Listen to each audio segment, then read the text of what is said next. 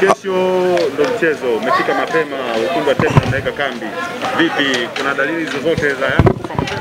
Ah, kama kawaida Justin Mwakitalima kutoka tawi bora wekundu wa Terminal Dar es Salaam.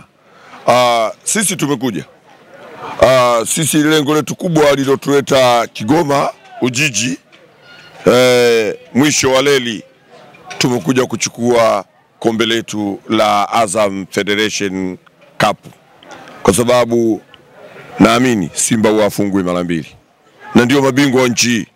Sisi kazi yetu kukusanya vikombe tu.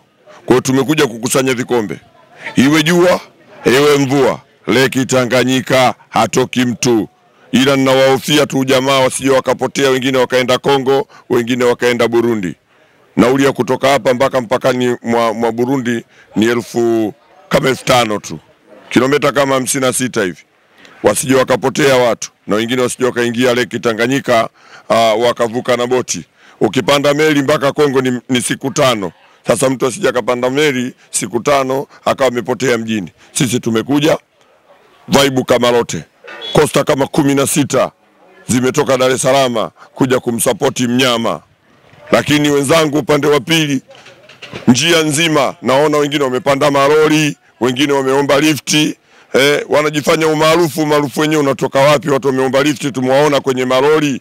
Mnapandeje maroli bwana? Ng'ombe wapande maroli na nyinyi mnapanda maroli, inakuweje? Mnafeli wapi?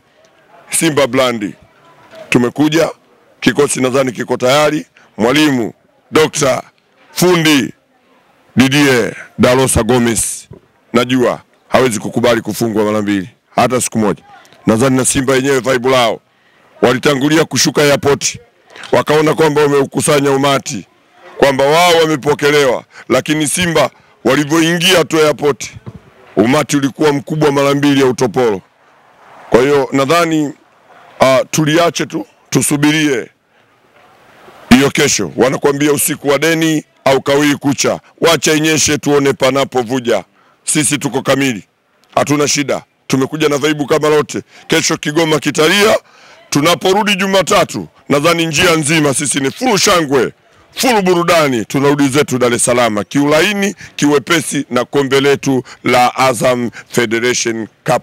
Sisi ndio kawaida yetu kukusanya vikombe hivi eh? Tukitoka hapa tunaenda kuchukua ngao ya jamii mwezi wa nane, halafu ndio tunasubiri sasa tuendelee kwenye ligi eh? Yani timu bora unaijua tu wewe, unapambana na Simba ukiifunga wewe mfunge, lakini sisi tunabeba vikombe na mechi ya kesho haina kusema ya ligi kwamba nikikufunga basi wewe unasogea mbele. Hapana, iwe jua iwe mvua, wache inyeshe, tuone panapovuja, tunachukua. Tunachukua tena, nasema tena tunachukua. Sisi hatufungagi mtu goli moja, sisi tunapigaga vifurushi, tunaanzia 2G, 3G, 4G. Tumeiona pichi.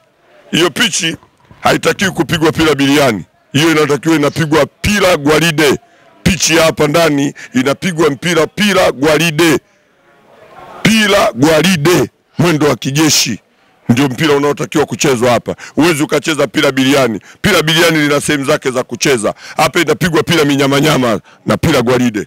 Hii ndio Simba. Tukutane Leki Tanganyika mapema tu asubuhi. Mashabiki wa Simba, nunueni tiketi, njoni, vaeni jezi, msibebe jezi mbili mbili kama jamaa zetu wanabebaga na jezi zingine na nguo za nyumbani wanazitia kwenye mabegi.